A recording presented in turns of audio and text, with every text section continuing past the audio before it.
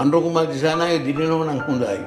මොකොද එතකොට මේ රටේ මිනිස්සුන්ටත් අලුත් වෙනසක් අවශ්‍යයිනි ඒ වෙනස කොයි වගෙන කියලා අපි බලමු. අපි නාකී දැන් අපි අවසාන උස්ම පොත යන ළඟයි. අන්ඩකුමා දිසානාය කොයි විදිහට මේ වැඩේ කරයිද කියලා බලන් ඉන්න තරම් කාලයක් ජීවත් වෙන්න ප්‍රවීණ රංගන ශිල්පියෙකු හා විචාරකයෙකු වන W ජයසිරි මහතා ඊයේ රාත්‍රී දිවිසරිය හමාරකොට තිබේ. මේ යන විට හැත්ත හත්වනි වියෙහි පසුවිය. එදදාස් නමසය හතලිස් සතේ මැයි පළමුුවන දින.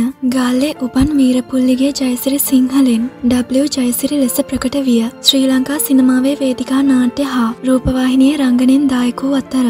ජයසිරි පිටපත් රචකයෙකු සහ ගීත රචකයෙකු ලෙසද මෙරට කලාවට විශාල සේවයක් ඉටුකෙරූ ප්‍රතිභා පූර්ණ පුද්ගලයකි. W ජයසිරි උපත ලැබුවේ ගාල්ලෙ හිරිබුර ප්‍රදේශය. ඔහුට සහෝදරයන් තිදෙනෙකු සිටිති. ඔහුගේ පළමු පාසල වූයේ කිතුලම්පිටිය මන්තේ විද්‍යාලයයි. ජයසිරි මහතාගේ අවසන් කටයුතු ගැන පසුව දැනුම් දෙනු ඇත. ඡන්දය ගැන ඔහු තුළ තිබූ අදහස අවසන් වරට පැවැත් වූ YouTube සම්මුඛ සාකච්ඡාවක මෙසේ ඔහු කියන ලදී. ඒ එක කොහෙට ඇයිත් දන්නේ. බෝ දුරට අන්ඩකුමා දිසානාය දිනනව නම් හොඳයි. මොකොද එතකොට මේ රටේ මිනිස්සුන්ටත් අලුත් වෙනසක් අවශ්‍යයිනි ඒ වෙනස කොයි වගෙන කියලා අපි බලමු.